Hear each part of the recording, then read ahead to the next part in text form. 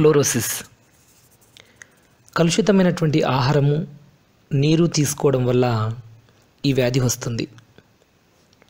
మనం తీసుకునేటువంటి ఆహారంలో నీటిలో అధిక మోతాదులో ఫ్లోరైడ్ అవశేషాలు ఉండడం వల్ల ఫ్లోరోసిస్ అనే వ్యాధి వస్తుంది.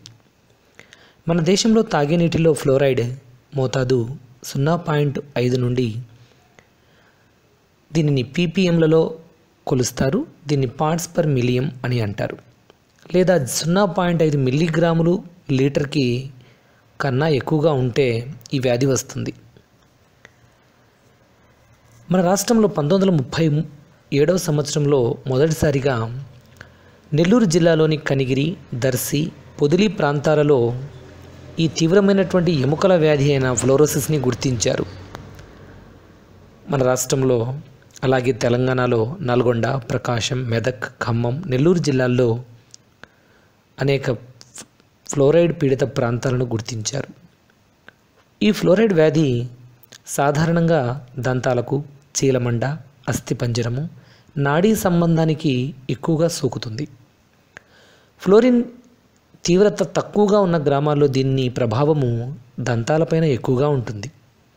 ఇదే ఫ్లోరిన్ తీవ్రత ఎక్కువగా ఉంటే అస్థిపంజరంలోని కా అస్థిపంజరము కాళ్ళు చేతులు ఎముకలు వంగిపోవడము నాడీ సంబంధ వ్యాధుల వంటి లక్షణాలు వస్తాయి.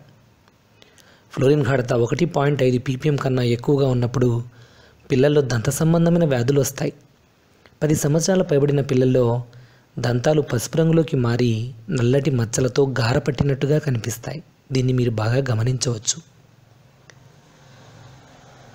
ఎక్కువ కాలం ఫ్లోరిన్ కలిగిన నీటిని తీసుకోవడం వల్ల ముప్పై సంవత్సరాల వయసు వచ్చేసరికి వంగిపోవడము కాళ్ళు చేతులు వంకర తిరగడము వేళ్ళు మెలికలు తిరగపోవడము వంటి లక్షణాలు కనిపిస్తాయి.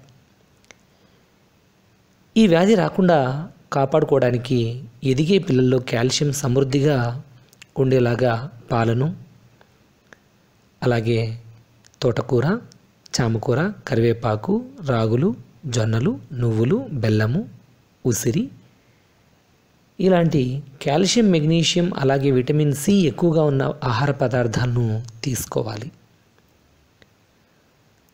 కాల్షియం మెగ్నీషియం విటమిన్ సి అధికంగా ఉన్నటువంటి ఆహారాన్ని పిల్లలకి యువకులకు అందించడం ద్వారా ఫ్లోరిన్ నుండి కాపాడుకోవచ్చు. ఫ్లోరిన్ అధికంగా ఉన్నటువంటి ప్రాంతంలో ప్రజలు ఫ్లోరిన్ ఉన్నటువంటి టూత్పేస్ట్లను ఉపయోగించాల్సిన అవసరం ఉండదు. ఫ్లోరిన్ని తరిమి కొడదాం భావితరాలను కాపాడదాం. దీన్ని మీకు అందించిన వారు NC Maula school assistant biology అగడూరు జిల్లా పరిషత్ హై స్కూల్ తొండూరు మండలము కడప జిల్లా